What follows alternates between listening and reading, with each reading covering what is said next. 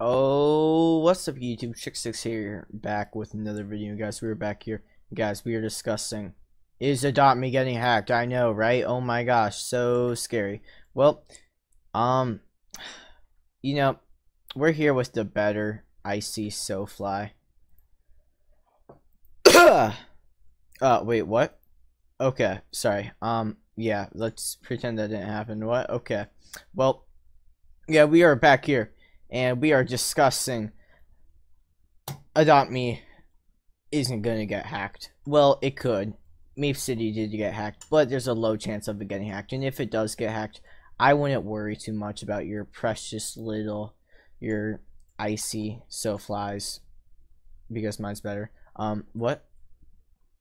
yeah, don't worry about your pets. In my opinion, I wouldn't worry about it. Um, Adopt Me knows how to control stuff. Same for Roblox. Everything is like saved up into your profile. So like they can just like back it up to like the latest like an hour ago before it got hacked or something.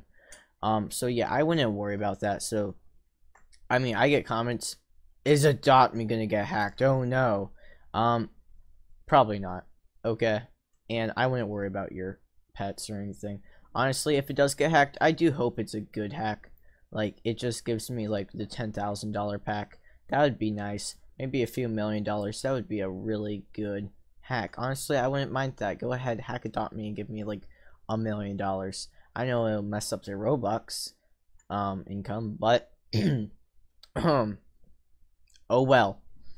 but anyway, yeah, I just wanted to say, no, Adopt Me is not getting hacked. Don't worry about a thing. I know this is cringe, but whatever. Um, bye, guys.